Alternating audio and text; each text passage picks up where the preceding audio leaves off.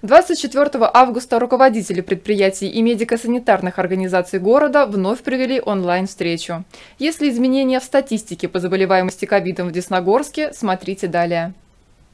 Стабилизация ситуации с новой коронавирусной инфекцией в городе началась несколько недель назад. То, что Десногорск перешагнул третью волну пандемии, подтверждают и последние данные. Количество пациентов с диагнозом коронавирус остается на уровне предыдущей недели, причем случаи осложнений единичны. За прошедшую неделю коронавирусной инфекцией заболело 20 человек и 11 человек пневмонией.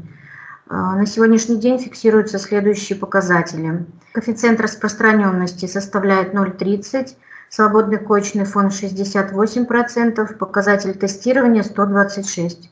Главное сейчас – закрепить результат. Поэтому на территории муниципалитета продолжаются профилактические меры. Обрабатываются и дезинфицируются подъезды и общественные места, сохраняется масочный режим и проводится работа по информированию граждан. Между тем, карантинных мероприятий в городе не проводилось, детские сады работают в привычном режиме, а школы готовы к очной встрече учеников. Ксения Ложкова, Александр Ерофеев, Десна ТВ.